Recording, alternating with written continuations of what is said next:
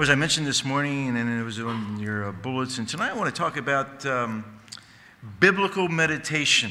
And of course, I've got to put the biblical in front of meditation because the world knows of meditation, but they know of, a, uh, of another very different kind of meditation called New Age meditation or just worldly meditation. Uh, and we'll get into the differences a little bit later.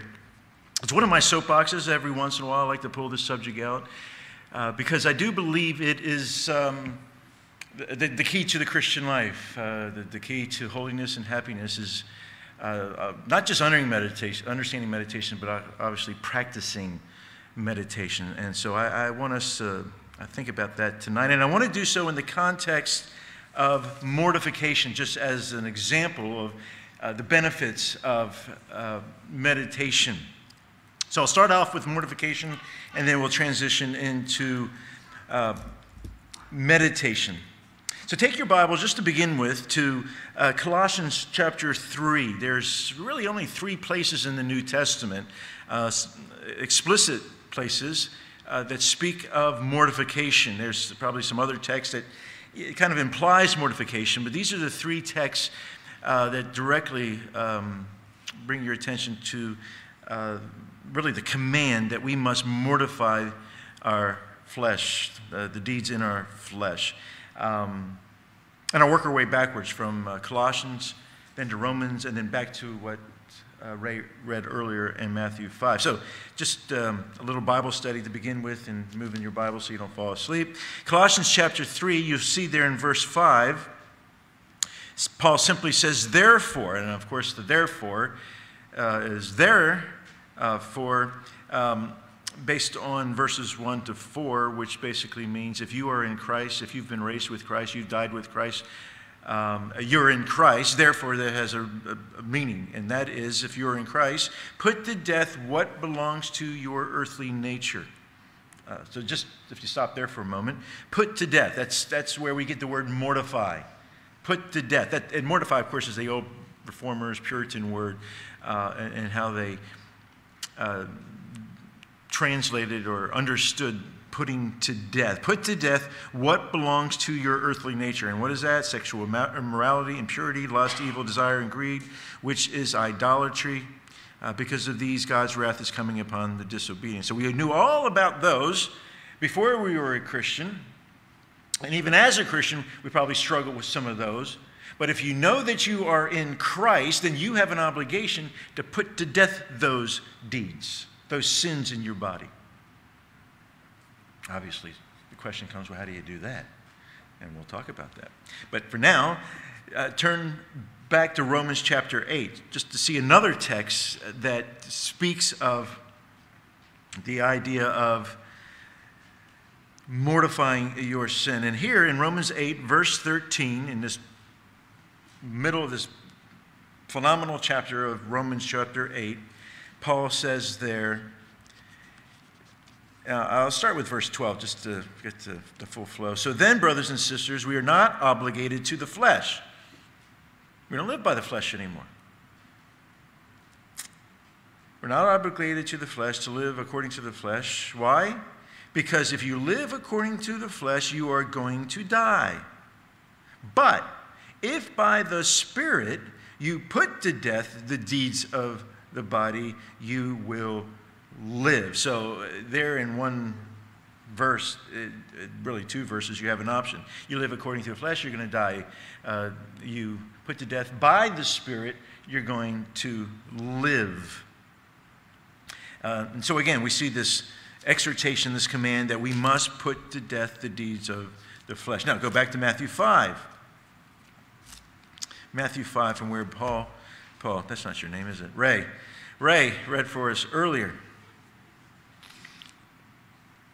It's sometimes mistaken for the Apostle Paul, so that's all right. Um, it comes in verses 29 to 30. You notice Matthew chapter 5. Uh, and, and, by the way, just to, to, preface before I read it, uh, remember this is the Sermon on the Mount. And we, we all know about the Sermon on the Mount. It's Jesus going on a mount and eyeballing his, his disciples and teaching them. Um, So, all the instructions in the Sermon on the Mount from Matthew 5 and Matthew 7 is, is about Christians and how they are to live in the kingdom of Christ. And what I find absolutely remarkable at this point is, in the eyeballing of his disciples, is, is these comments. Let me read it. If your right eye causes you to sin, gouge it out and throw it away. For it is better that you lose one of the parts of your body than for your whole body to be thrown into hell. And if your right hand causes you to sin, cut it off and throw it away. For it is better that you lose one of the parts of your body than for your whole body to go into hell. Um, th- those are pretty strong words, I would say. Uh, th- those are words are basically uh, if you don't deal with your sin, you're going to hell. And again, he's talking to Christians. If you do not get a handle on your life, if you don't get a handle on mortifying the sins in your body, I'm going to throw you into hell. He says it a little bit stronger over in, uh, if you can't believe that, a little even bit stronger over in Mark, uh, Mark 9, I believe, but we won't t- take you over there. But uh, th- this is what Jesus is saying. This is your relationship. If you're a Christian, this is your relationship uh, to sin. This is what you do with indwelling and remaining sin. You put it to death, or in the words of Jesus here, you pluck it out, you, you cut it off. Now, before we even talk about meditation, I hope you understand that that's your duty and that's your obligation. As Christians, you pluck out the sin in your life, you cut out the sin in your life, you put the death, the deeds of the body in your life. And, and again, he's talking to you if you're a Christian. This is all for Christians in, in, a soundbite, get serious about sin or go to hell. That, that's what he's saying here in a nutshell. But as I said earlier, uh, how, how do you do that? If, if, this is that serious, then I better know how to pluck out, gouge out, cut off, put to death. Or, you know, one of the best illustrations of what it looks like in putting to death the deeds of the flesh uh, and you may have heard this before, is, is the story there in 1 Samuel 15 where um, Saul, uh, sorry, Samuel tells Saul um, to, to, capture uh, Amalek, any Amalekites, and do what with them all? Cut them all off, wipe them all off, kill them all. Remember? And then next time Samuel comes around, he's like, What's that bleeding of the sheep I hear? I thought I told you to wipe out everything, even sheep. Uh, better to obey than to sacrifice. Because Saul's reply was, Well, I don't know, I kept some of the best stuff for me. And come to find out, I, I kept the king uh, um, um, uh, Amalek over here because, you know, he's my prized trophy. And so he used to rub it in his nose and to show the people um, how blessed we are. I decided to keep him around. And, Saul, uh, and Samuel turns around and says, No, no, no. Better obey to sacrifice. You should have killed him. Bring Amalek, uh, Amalek out here. And what does Samuel end up doing?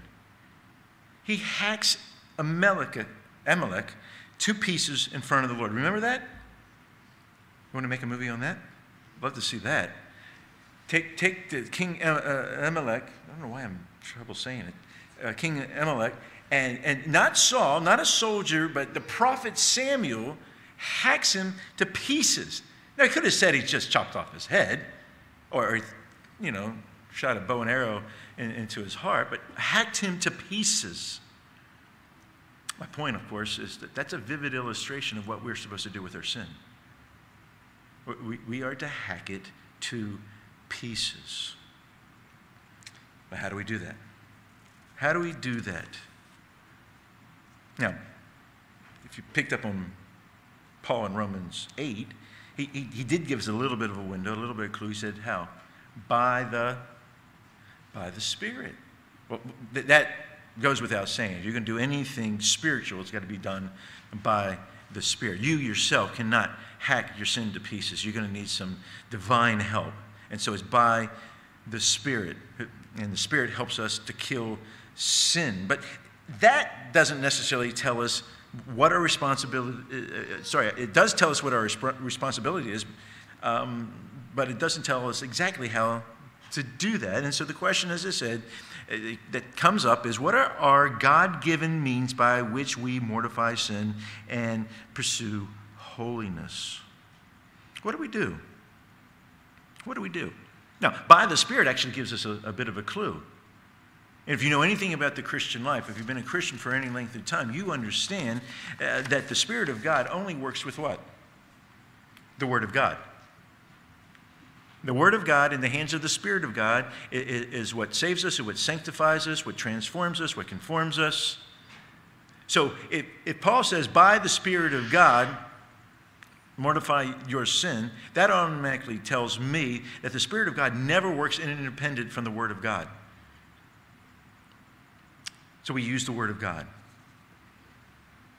As I said, it's the Word of God in the hands of the Spirit of God that are the means by which we are saved, and not just saved, but we are sanctified. Mortification is part of the sanctifying process.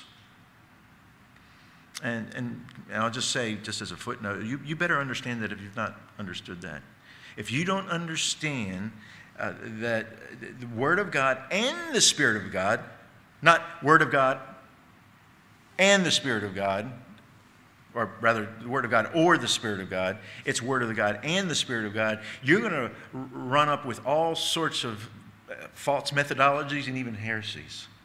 It's always the Word of God and the Spirit of God. Those are God's sole sufficient means for the salvation of souls and the sanctification of the saints. The Word of God and the Spirit of God, all right?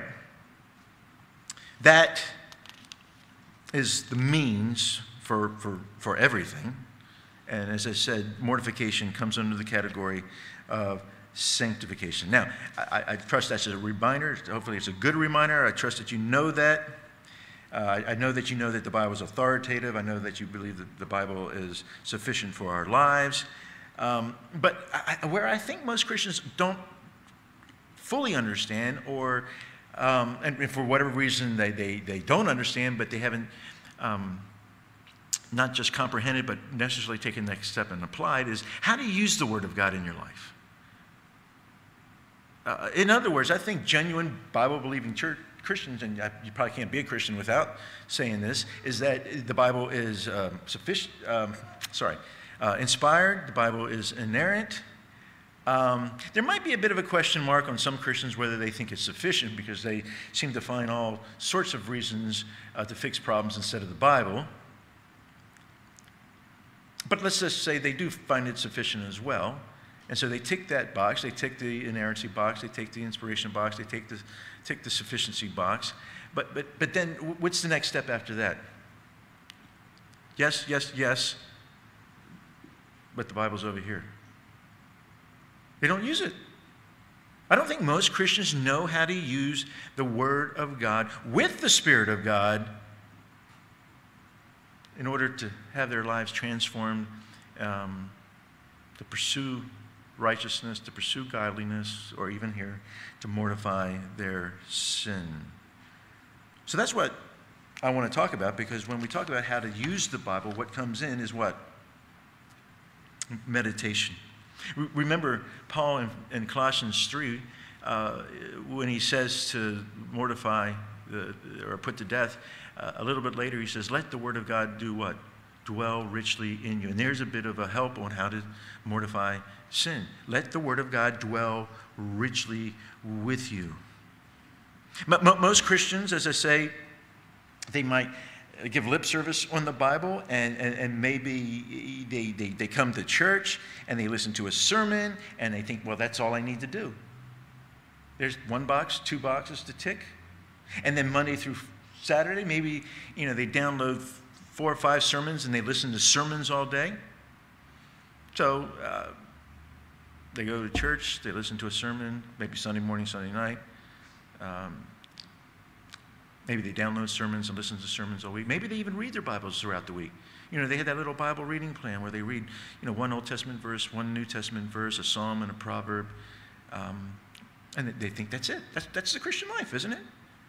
I mean, that's what I've always grown up in, and that's always what I heard. Now, don't get me wrong. I'm not saying those things are wrong. Do those things. Have a Bible reading plan. Listen to sermons. But you got to do more than that. You got to learn how to meditate on Scripture. In fact, the Bible never tells us actually to read Scripture. It tells us to what? Meditate on Scripture. Meditate on it day and night. So, this is why we, we need to understand the importance of meditation. Uh, because it's not just what we need in order to mortify sin, but it's really uh, what we do in order to live the whole Christian life. As I said, most people just listen to sermons all day. And I'm not saying that's a bad thing, but that's not meditation. What is meditation? Well, let's, let's, let's talk about that. What is meditation? And, and, this is where we'll turn for the rest of our time tonight. And I really only have uh, uh, two points. Two points. And, and you can see that on the, uh, on the bulletin. We're just going to talk about the definition. First, we need to define meditation. We really need to make sure we understand what biblical meditation is. And after we define it and understand what meditation is, then we'll talk about how to use it. Okay? Uh, uh, you know, or, or what are the benefits are, the div- dividends, so to speak. So let's start with the definition. What exactly is biblical meditation? And a good place to start is Psalm 19. I'm not going to have you turn everywhere uh, tonight. Sometimes I just read it, but here's one place where I think it's good for you to see uh, right, right there before you what meditation is. So, Psalm 19, David writes, look at verse 14. Right at the end of the psalm. He says this Let the words of my mouth, and then what? The meditation of my heart be acceptable in your sight, O Lord, my strength and my redeemer. So the words there, what do I know about it just in this verse? All right, before we even get to the Hebrew. One of the things uh, we've talked about over the years when we read the Old Testament, and certainly in the Psalms, but even the prophets, uh, there, there's a particular type of way that the Hebrews would write. Uh, there would be prose, which is narrative, and then there would be poetry. And in poetry, the way they wrote poetry is by um, what we would call parallelisms. Most of the, the poetry is, most, not all the time, there's some, some um, other ways to do it, but most of the time in parallelisms, it's just two lines you look at. Proverbs are very much this, where there'd be one line and then a second line, and they're related. In other words, the, the writer writes it one way and then he turns around and writes it another way, but it, both lines are getting to the one point. Sometimes that second line will be different than the first line. Sometimes that second line will kind of finish what was said in the first line, but most of the time, that second line will just repeat the first line, but in a different way. This is a case of that similar or synonymous parallelism. He says, Let the words of my mouth, right? What's that parallel to? The second line, the meditation of my heart. So, whatever the meditation of my heart means, you look up above and it means the words of my mouth. And, and that, that's why I begin here, because this is the most basic idea of what meditation is. Meditation simply means, and this is getting to the Hebrew, and I'll mention the word in a moment, something that is uttered out loud. Now, it's very foreign to us in our Western world, but in a Semitic, Eastern kind of a mindset, that, that, that's what they did. There was no such thing as reading uh, and reading silently. You would, when you read, you read out loud. When you, you, when you thought, you sometimes thought out loud, which obviously makes you look a bit crazy, but that's what you expected. I mean, you take Hannah. Hannah's troubled. She's in the, in the temple, uh, and she's, she's praying that, that the, the, the Lord would give her a son. And um, in her prayer, her lips are moving, but what's coming out? Nothing. The expectation was that words would have been coming out. Hence, Samuel, or, or Eli rather, um, rebukes her, thinking that she's drunk. The expectation is that when she prayed, words would have been coming out. When people read, the expectation were that words were coming out. That's meditation. Meditation is something that is uttered out loud. Now, of course, it doesn't have to be uttered out loud, but that's the meaning, the root meaning of what it, meditation is. The word is haggah. haggah. Um, it's one of those words that uh, haggah. It, it kind of sounds like you're utter, just, just like uttering something out loud.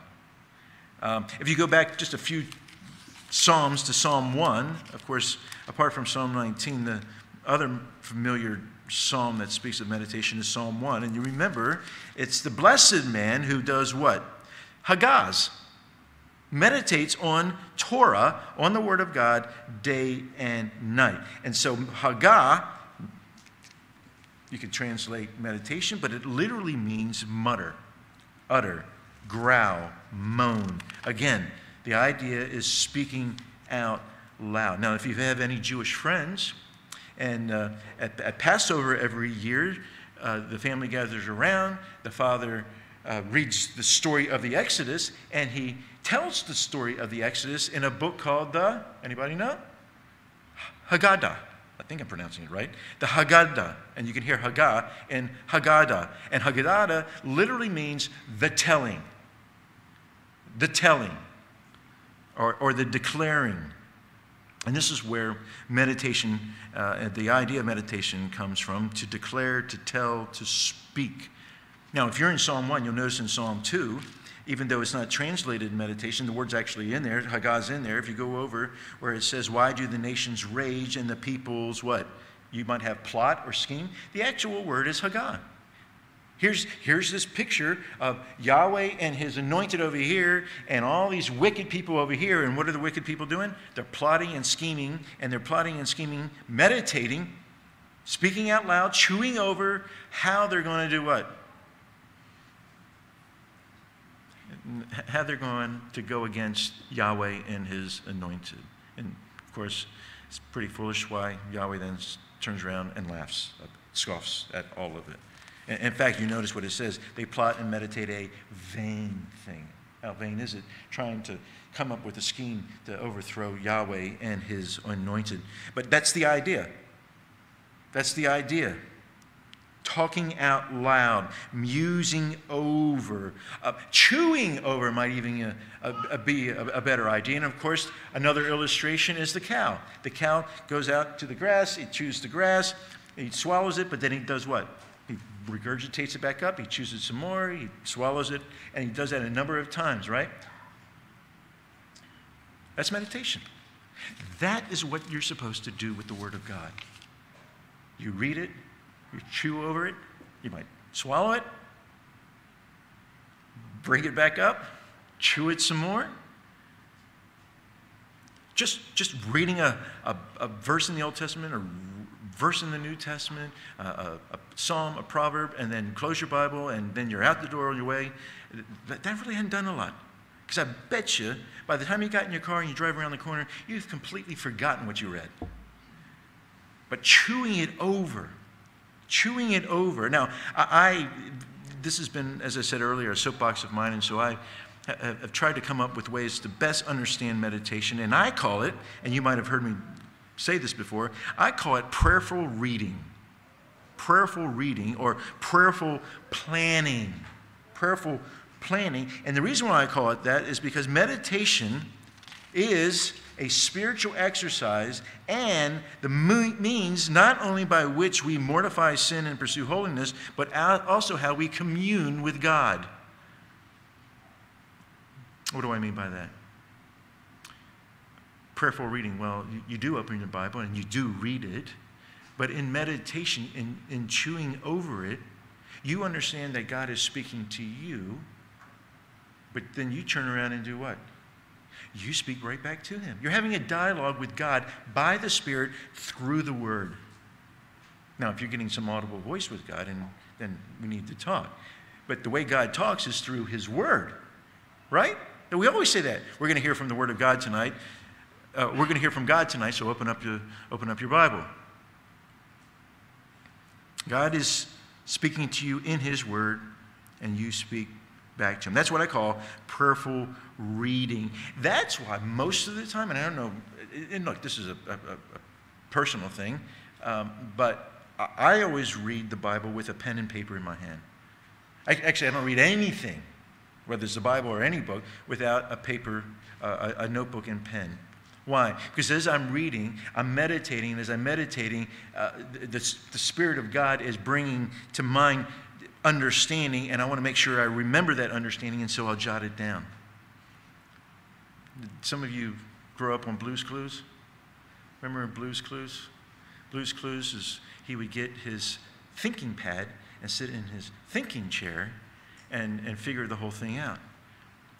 But that's what I do. I grab my Bible, I go into my thinking chair with my thinking pad, my meditation pad, my meditation uh, pen, uh, uh, uh, pad and, and chair, and just start musing, chewing over, thinking out loud.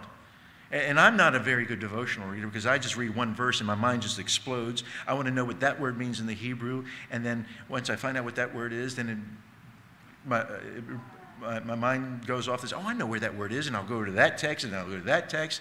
And then I want to know what that means. And then I'll pull off the commentator, uh, commentary. And then an hour goes by and I've only read, what, a half a verse. But boy, did I get a lot out of that half a verse because I chewed over it. And by the way, as a footnote, that's how you learn. You, you, you learn two ways. You, you learn by teaching others, right? We've said that. Disciple somebody. If, you, if you, you've been a Christian all these years and you think you don't know anything, ask yourself, who have I discipled? Because in discipling, you have to pass on what you've learned. And in passing it on and in teaching, you remember. The second way is, by doing your own self study Bible study. If you just listen to sermons all day, you're getting somebody else to do your sermon, your study for you. You're getting somebody else to do your meditation for you. But if um, you just read the Bible on your own and meditate on, on your own, then you're going to remember heaps more. So, prayerful reading. The other thing I said was prayerful planning prayerful, prayerful planning. And by that, I mean that uh, we should be purposeful in our meditation.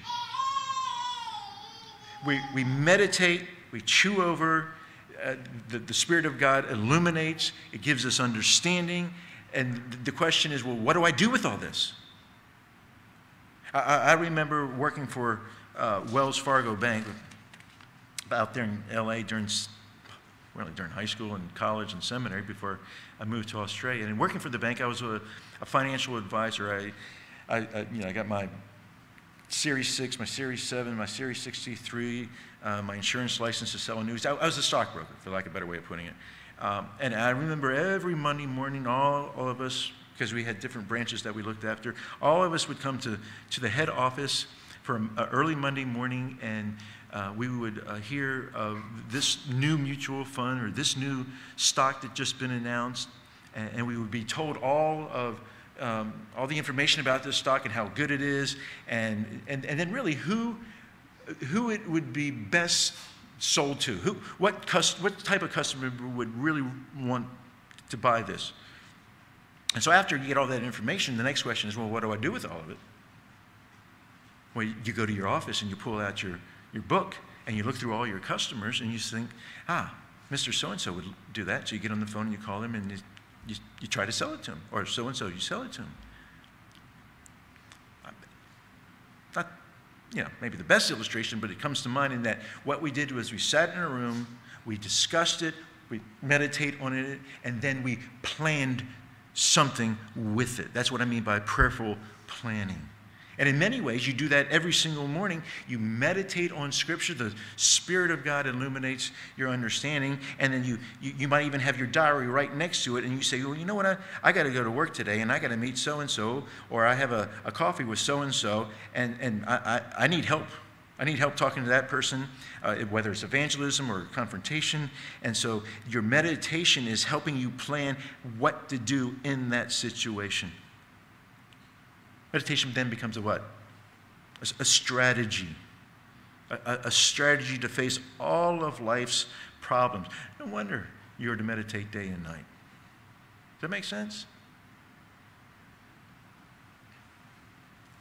And by the way, uh, meditation is just not an Old Testament thing. I know uh, we, we, go to Psalm 1, we go to Psalm 19.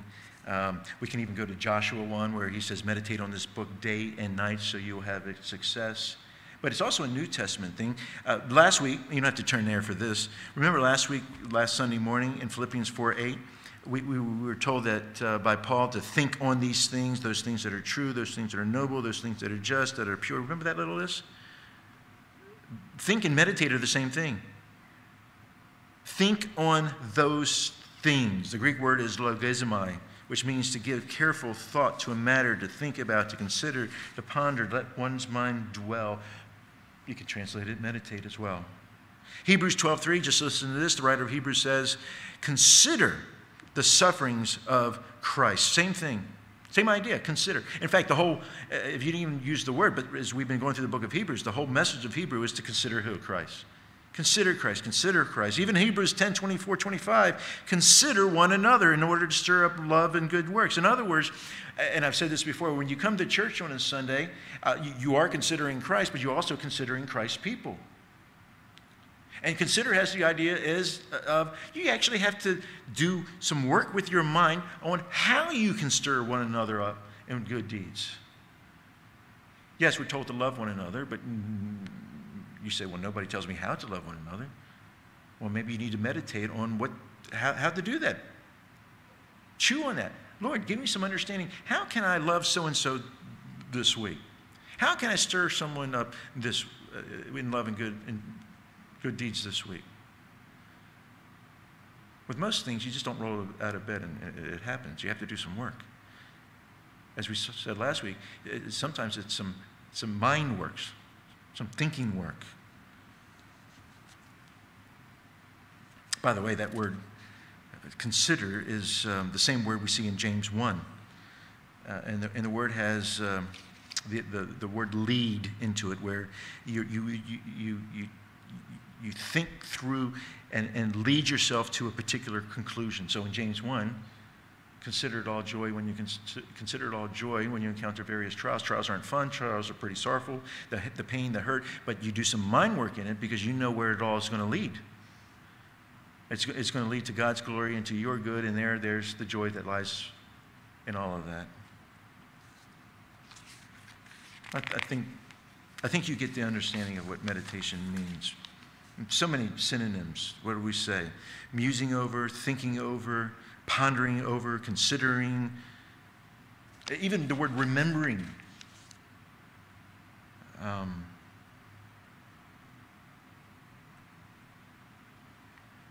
of course, if you like kitchen metaphor, metaphors, uh, then simmering. simmering over.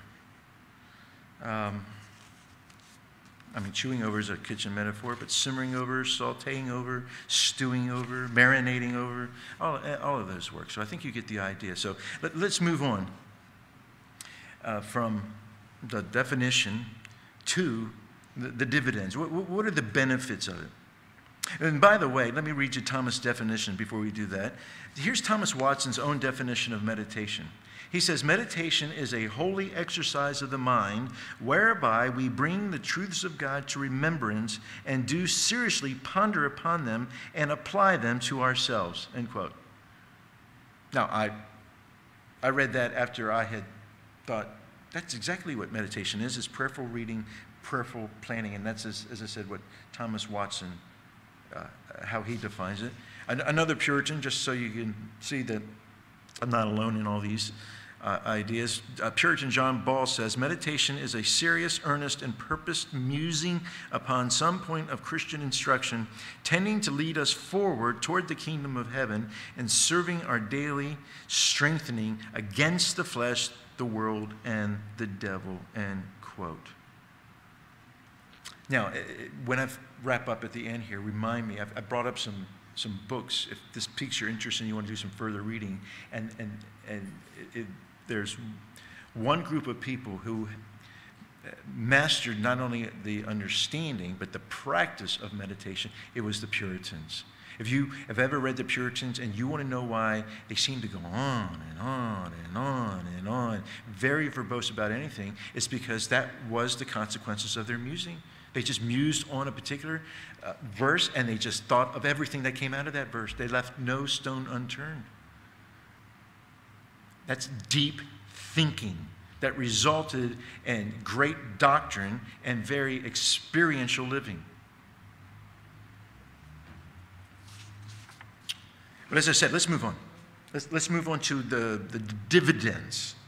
Here is why you must practice biblical definition, def, uh, meditation. Now, you understand what it means? Let's talk about what meditation does And I just jotted down, again with my thinking pad and my thinking chair, uh, just a number of things. And, and, there could be more than what I've given. In fact, I, had, I looked at some of these books this afternoon and I missed a whole lot. But what I have here is, I think, is enough to get you started. But here's number one What does meditation do? Well, first of all, meditation renews our mind, Re- renews our mind. You'll know Romans chapter 12 do not be conformed to this world, but be transformed. And transformed has the idea of change. It's the word metamorphosai, where we get the word metamorphosis, and it's to be transformed into the likeness of Jesus Christ. So, how does that happen? How do we go from being conformed to the world to be having our minds being renewed and transformed into the Jesus to Jesus Christ? Well, it only happens by how? Uh, by the Word of God in the hands of the Spirit of God, and that comes with meditation. So, meditation renews our mind. Secondly, on the heels of that, uh, not only does meditation renew our mind, it, it, it, it, transforms our, our being. Let's just say it that way. It transforms our being. Let, let me have you look at a very familiar text, 2 Corinthians 3.18. Remember this? 2 Corinthians 3.18. We Paul says, 2 Corinthians 3.18, we all with unveiled face, and he's, he's, contrasting Moses a few verses up, who, when he, when he came into the presence of God, he had a what? He had a veiled face. But now, in the new covenant, unveiled face, we all with unveiled faces are, and depending on what your translation is, are looking as in a mirror. And what's the mirror? The mirror is Scripture right? The glory of God, is, God's in heaven in his glory. Uh, we're not there, but the Word of God is kind of like a satellite receiver where God's glory is coming down and it's bouncing off the pages of Scripture. And as we look into it, or as we meditate on it, something happens to us. Notice what it is. Our being transformed into the same image from glory to glory. This is from the Lord who is the Spirit. So you see the Spirit there, you see the mirror, which is the Word of God, and as you meditate on the Scripture, something happens. Number one, it renews your mind. Second law, it transforms you. Transforms you into who? The same image, the image of Christ from glory to glory. In other words, as you meditate on Scripture and the Spirit of God takes that meditation, He moves you from one level of glory to next. That sanctification process to ultimately you're glorified.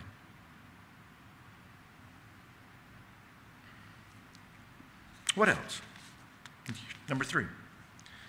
Meditation not only renews our minds, meditation also washes and purifies our mind. Similar to what we said this morning. Jesus in John 17, 17 says, Father, sanctify them in the truth. Your word is truth. Sanctify has the idea of washing. Sanctify has the uh, idea of cleansing and purifying. And Jesus says, well, the means of that is what? It's the word of God. If you want to be sanctified, uh, and sanctified especially in our minds, you want to get all that garbage that's in there out, well, you need to wash it. And you wash it with the Word. Replace all that junk with truth. And meditation does that. Number four, not only does uh, meditation sanctify our minds and purifies our minds, but it also guards our mind. It guards our mind. Go to Psalm 119 and uh, uh, have you just camp out on Psalm 119 for a moment because there's a, a few points that come out of Psalm 19. But in Psalm 119, verse 9, and, and this is the classic text on purity.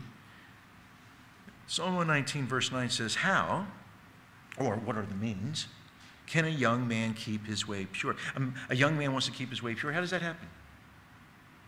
Well, here it is by keeping it according to your word.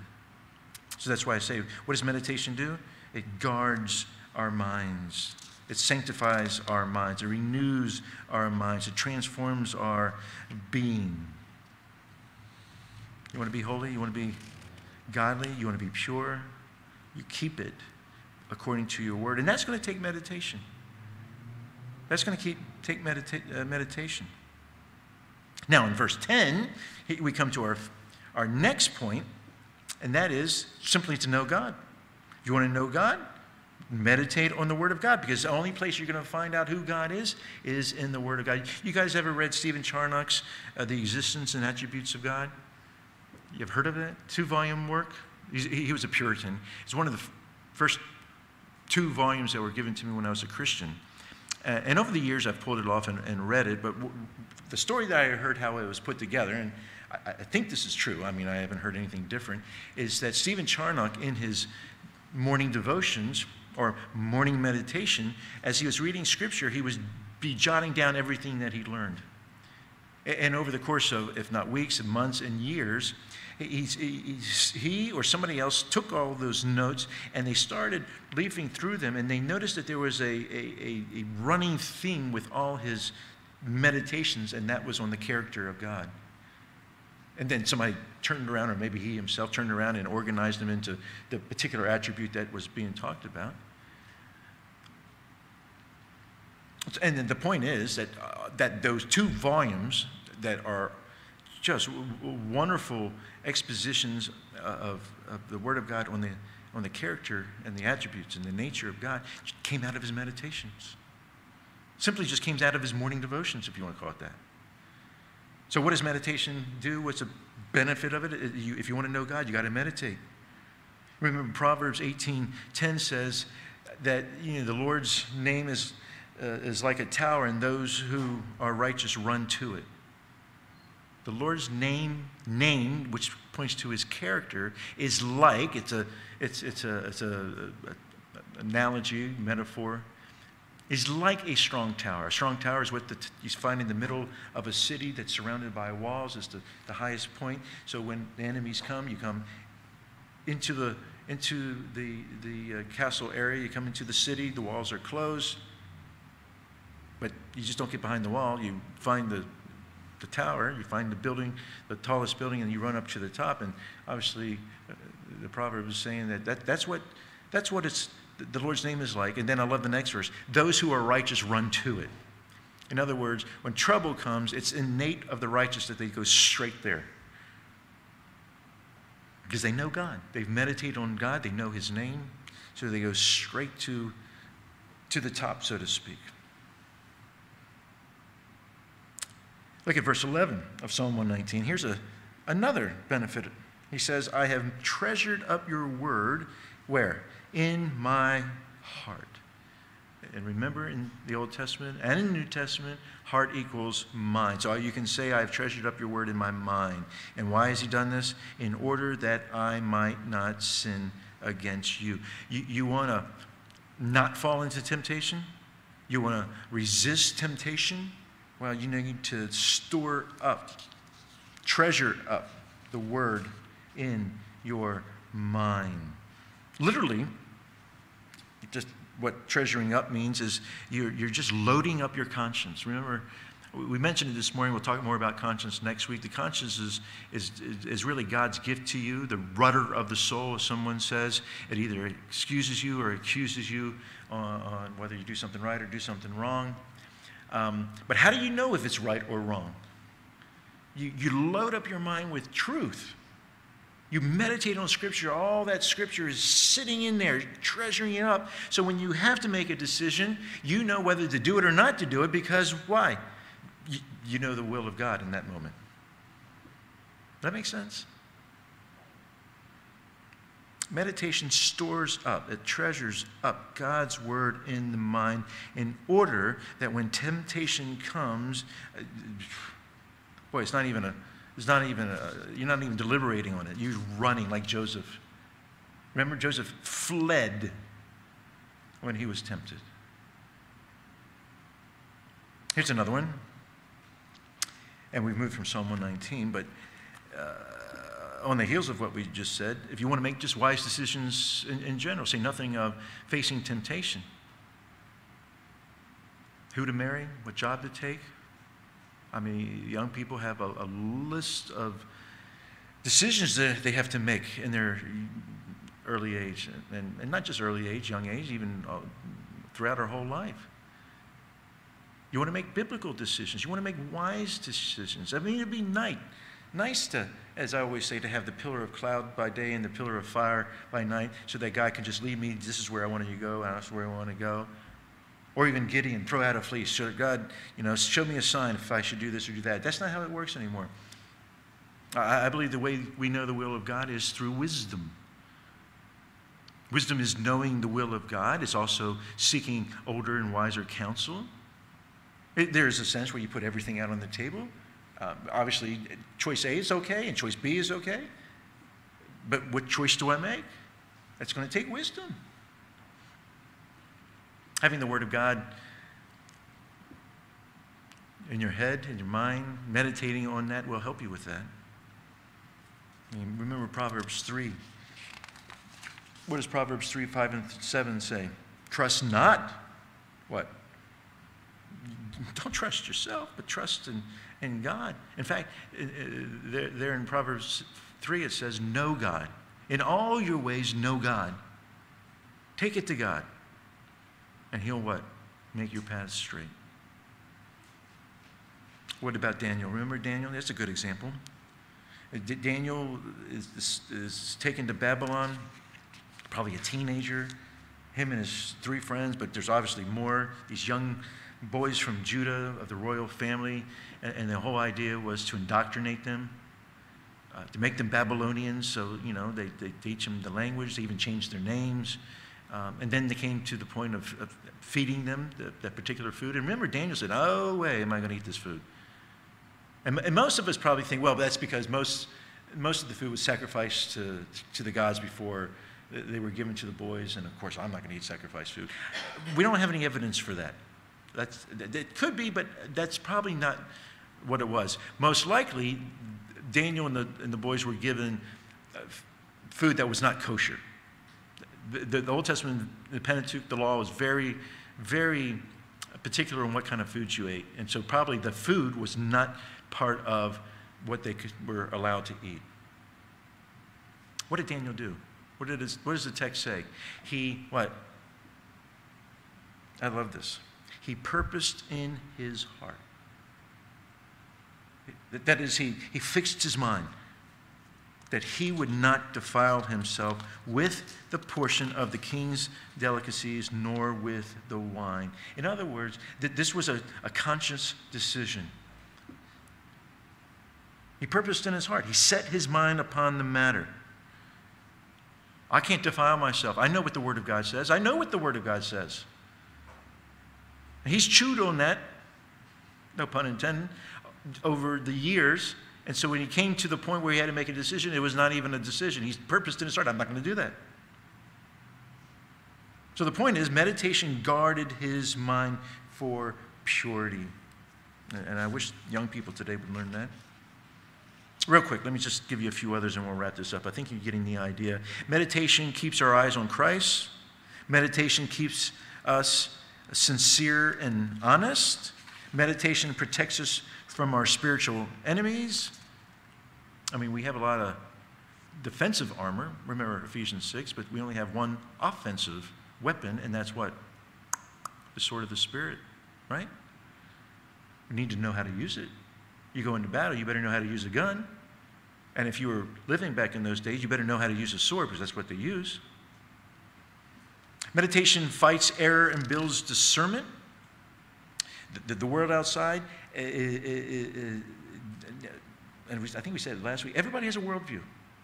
Everybody has a particular ideology of where they came from, where they're going, and, and, and their own little philosophy how to live.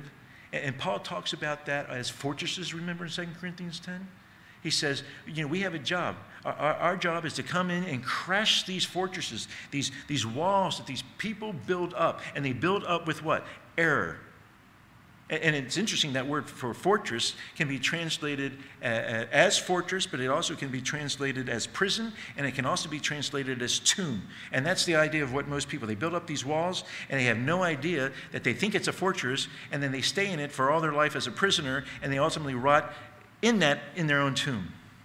And Paul says, we, we, have, a, we have a, we have a mission. That mission is to come and, and, and hammer these walls, these fortresses down, anything that's raised up against the knowledge of God. And we do that with what? what any, the only thing that fights error is truth. So you better know the truth. If you want to fight error, if you want to build discernment, past Christmas, I saw my um, brother-in-law, and I think I've told you over the years, he's a, he, he works for the Secret Service.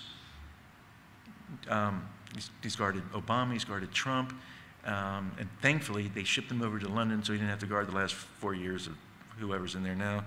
But um, now he's back in Jacksonville. Um, but if you know anything about the Secret Service, it's not just guarding the president. One of the, they, they have a lot of other jobs. In fact, he went over to London because he, he, he, he um, got a name for himself on um, tracking down uh, cyber crimes.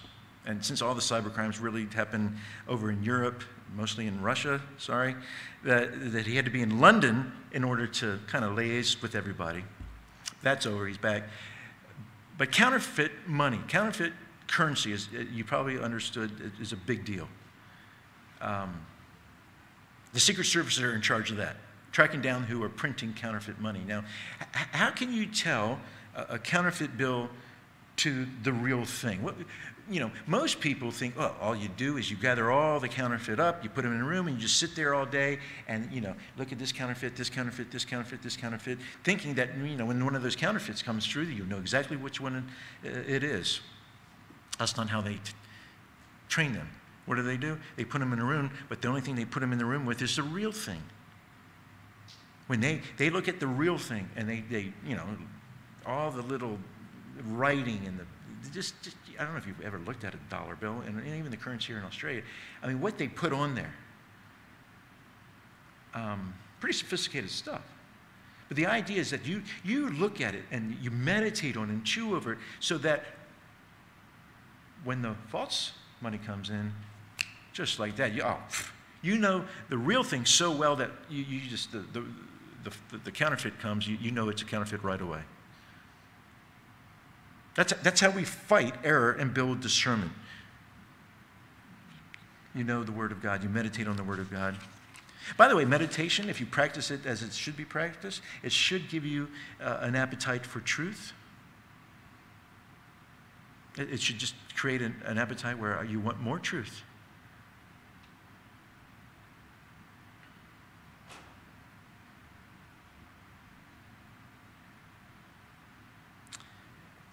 Well, let's circle back to where we began. You want to mortify the flesh. You want to get rid of the sin in your life. You want to push the darkness out and bring light. Well, uh, by the Spirit of God, but it's the Word of God in the hands of the Spirit of God that's going to be doing this. You need to understand meditation. Isaiah 26, 3. You will this is Isaiah speaking to God. You will keep him, him, put your name there, in perfect peace, whose mind is stayed on you. So maybe we should end with that one. You want just to be happy. You want peace. You want comfort. Uh, it begins with meditation. You will keep him in perfect peace. Only, you could say, whose mind is stayed on you. That's meditation staying on you. And what does it bring? It brings perfect peace. And again, the key is biblical meditation.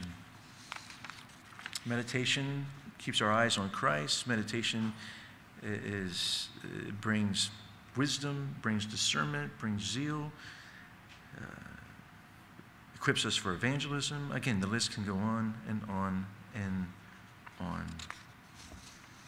It is God's means, with the enablement of the Holy Spirit, for us to mortify sin and pursue holiness. So, hopefully, you got it. Hopefully, that speaks your interest. Let me, real quick before I close, just pull out a, a few books that, if it does pique your interest and you want to follow up on this, this to me is the best introduction on the Puritans in meditation. It's called God's Battle Plan for the Mind by David Saxton. It came out just a few years ago. Uh, the subtitle is The Puritan Practice of Biblical Meditation. It's not a thick book, but if you want to understand um, just definition and the benefits, plus other things, some, uh, obviously moving on from what we've talked about tonight, he, he did an in depth study. I think this is his published master's thesis from memory, um, and just introducing Puritan meditation. Um, and, and, like I said, going a little bit further than uh, what we've said tonight by way of introduction. But if you want to read the Puritans yourselves, um, this one is a classic. It's by Nathaniel Ranew. I don't know how you say the last name, R A N E W, Ranew. Solitude improved by divine meditation. Uh, I remember years ago listening to a guy by the name of John Gerstner. Some of that, you might know who that name is. He's the guy that taught um, R.C. Sproul. Or, or, John Gerstner said, you know, I, I, go to a, I go to an airport and I, you know, I sit there and I wait for my plane. I, I just don't sit there and look around and look at everybody. I'm not going to waste any time. I meditate. Uh, because that was the Puritans. Puritans had, a, Puritans had an 11th commandment, and that was, Thou shalt not waste time. And so, what do you do if you're not actually actively doing something? You practice divine meditation. That's why it's called solitude by yourself. How do you improve that time? By divine meditation. And then Thomas Watson, some of you are familiar with the Puritan Thomas Watson. He seems to be one of everybody's favorite. He's, he's one of mine. He wrote a, a treatise on meditation. It's called The Christian on the Mount. And so you'll get some, some help from that as well. There's other books, but that's, that, that's a start. Come up and have a peek of these if, if you want afterwards. But again, I can't commend to you enough the importance of biblical meditation. So hopefully you got some of that tonight. Let's pray. Heavenly Father, we thank you for uh, helping us understand just practically how, how to deal with life and life's issues and, and even to obey our obligations, our duties, and commands. And it seems to circle back to. Uh, the spiritual means that you've given us to, to accomplish all those, and that's by the Spirit, but with the, with the Word of God in the hands of the Spirit of God. And so uh, we know that the Spirit will do His work, but we need to do our work. And part of that work is meditating and knowing how to meditate and how to use our meditation in the usefulness of everything we talked about. So commend this to us. Help us to uh, practice it, even learn more about it, so we can be more like Christ. And we ask this in Christ's name. Amen.